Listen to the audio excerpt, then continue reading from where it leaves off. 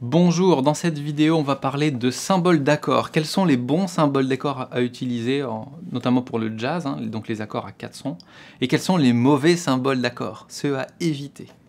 Je vais euh, vous donner mon point de vue sur la question, qui est fortement inspiré d'un prof que j'ai eu pendant ma formation euh, au conservatoire, un prof qui m'a beaucoup influencé à beaucoup de niveaux, au niveau musical bien sûr, au niveau plein d'autres aspects, et notamment euh, sur cet aspect-là de comment écrire une bonne partition avec des bons symboles d'accord. Donc je vais vous partager pas mal de conseils qui sont inspirés de, la vision que, que ce prof m'a inculqué. Euh, c'est un musicien qui s'appelle Pierre Drevet, qui est trompettiste, qui est arrangeur et qui maintenant, je crois, est à la retraite, mais qui continue de jouer pour le plaisir et qui est français. Euh, donc, les symboles d'accord. Comment quels sont les, critères sur lesquels je vais euh, me baser pour juger si un symbole d'accord il est bon ou pas? Il y en a deux principalement. le premier critère, c'est la clarté de la notation du symbole d'accord, ou plutôt euh, le fait que ce soit pas ambigu. Si je choisis un symbole et que ce, ce symbole, on ne sait pas s'il fait référence à un accord majeur ou majeur 7 ou mineur 7 ou si c'est ambigu, c'est pas un bon symbole d'accord. Donc il faut que ce soit un symbole ou une notation qui soit différente au niveau des caractères des autres symboles d'accord et qu'on le reconnaisse facilement. Et l'autre, c'est la lisibilité. Parce qu'assez souvent, ça c'est plus un, euh, quelque chose de, pratique, assez souvent, en fait, on a une partition qui, des fois, est un peu trop petite, enfin, parce qu'il faut que ça rentre sur une feuille à 4, en général. Il faut que le symbole d'accord, on puisse le voir de loin, peut-être qu'on est en train de jouer dans un concert et que c'est pas bien éclairé et qu'on voit. Il faut que ce soit lisible.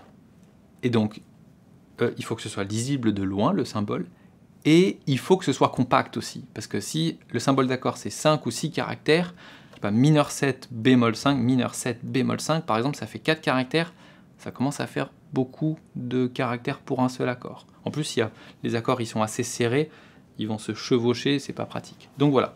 Les deux critères, c'est euh, le manque d'ambiguïté, la désambiguïté, comment on pourrait dire ça? Le fait que ça ne se recoupe pas avec d'autres notations d'accord, et la lisibilité. Le critère de la justesse théorique, euh, le fait que ce soit cohérent par rapport à toutes les autres notations d'accord, ça n'est pas un critère important pour moi, et d'ailleurs, il y a pas mal d'incohérences dans les notations d'accord qui sont souvent utilisées aujourd'hui et elles sont pas forcément problématiques parce que on est habitué, euh, on ne cherche pas à avoir une rigueur absolue forcément. Ce qui est important, c'est qu'on comprenne de quel accord il s'agit lorsqu'on voit l'accord noté. Si je prends l'exemple des accords mineurs, les accords mineurs, des fois, ils sont écrits M-I-N, un accord mineur 7 par exemple. M-I-N plus loin 7. Des fois, on écrit M, minuscule, 7. Et des fois, un moins avec 7. Je trouve que celle qui est la plus lisible, la plus pratique, c'est petit m 7. Ça peut aussi être moins 7 si le moins il est gros, mais il y a des polices de caractères dans lesquels le moins il est petit, donc on ne le voit pas loin, on a l'impression de loin que c'est un accord 7 parce qu'on ne voit pas le moins. Donc ça, moi je trouve ça, le mieux c'est d'avoir un M et 7, et que le M minuscule il soit assez clairement visible. Ensuite, l'accord maj 7. Donc l'accord maj 7, il a une tierce majeure, une quinte juste, et une septième majeure. Des fois, on le voit écrit maj 7 avec un M majuscule, M J 7, ou alors delta 7. Ça, on trouve ça dans l'application iReal Pro. Ce sont pas des notations que j'aime. Parce qu'en fait, le 7, il fait référence, dans la plupart du temps, à la septième mineure d'un accord. Mais un accord maj 7, majeur 7, il a une septième majeure. Donc la notation que je trouve de loin la plus pratique et en plus la plus compacte, c'est juste de mettre un delta. Un accord delta, donc C delta, c'est Do majeur 7. C'est un accord majeur, puisqu'il n'y a pas de petit m. Et delta, ça fait référence à la septième majeure, donc c'est un accord majeur avec une septième majeure. C'est la notation que je préfère pour les accords maj 7. Pour les accords mineur 7, bémol 5, qu'on appelle aussi demi-diminué. On peut l'écrire mineur 7 et ensuite bémol 5.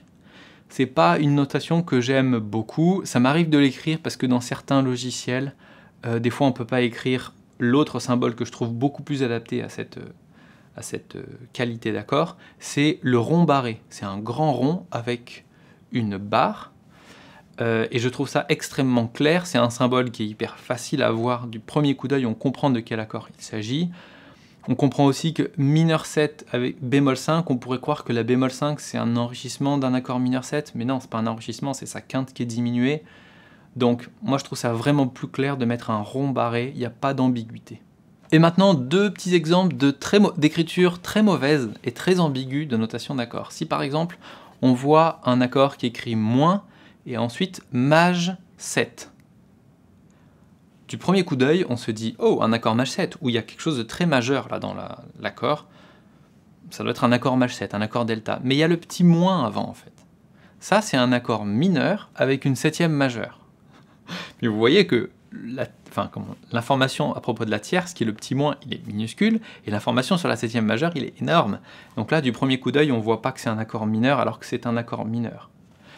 Autre erreur euh, courante, notation très ambiguë d'accord, c'est un grand M et ensuite 7.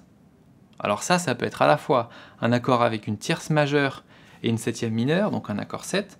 Ça pourrait être, et souvent c'est ce que ça sous-entend, un accord majeur 7. Bref, on ne sait pas trop de quoi il s'agit, et ça c'est à peu près sûr quand on voit ça, qu'il faut demander à la personne qui a écrit la partition, c'est quoi ce truc? C'est un accord majeur 7 Un accord delta ou alors c'est un, accord 7.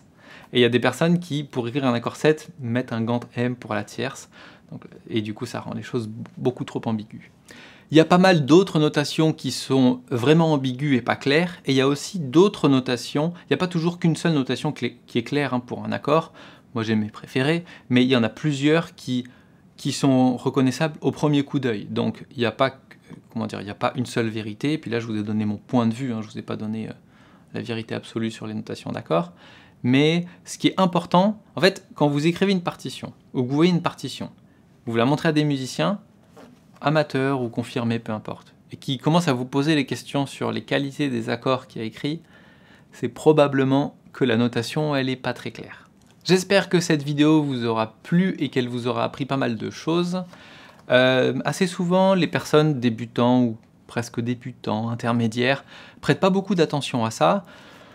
Moi j'aurais envie de vous dire, euh, ça coûte pas grand chose de juste être soucieux de quelles sont les notations les plus pratiques pour commencer dès le début avec euh, en notant les accords de façon la plus claire possible. Quoi. Plutôt que vous dire oh non mais un accord maj 7 ou un accord 6 ou majeur, majeur 7, c'est pareil, c'est tout pareil, on s'en fout. Ben si dès le début vous commencez en notant vos accords de façon assez claire, vous n'aurez pas ce travail à faire plus tard de retravailler vos notations d'accords. J'espère que ça vous a plu cette vidéo. Si vous avez des questions, n'hésitez pas à les poser en commentaire de cette vidéo. Vous en avez probablement parce que c'est un sujet qui fait pas mal, qui fait débat. Euh, abonnez-vous si vous n'êtes pas encore abonné. Partagez la vidéo si ça vous a plu. Et puis à la prochaine.